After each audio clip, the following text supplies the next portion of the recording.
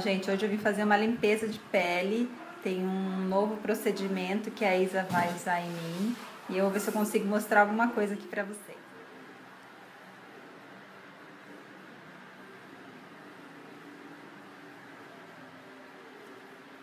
Então, esse daqui é um procedimento indolor em relação a outra limpeza de pele manual.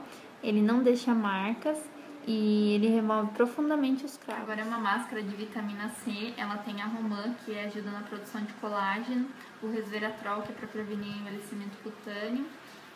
Gente, então é isso, eu fico super vermelha porque eu sou transparente, né? Mas o seguinte, a caneta, ela não dói mesmo, então eu super recomendo. Gente, ó, essa é a canetinha, ela vai uma ponteira aqui, ó, e ela vai apertando e ela vai fazendo a sucção do cravo, então limpa esse vídeo foi só algumas coisas que eu consegui gravar lá no meu Snap durante o procedimento, mas lá no meu blog tem um post bem completinho sobre a Face Clean.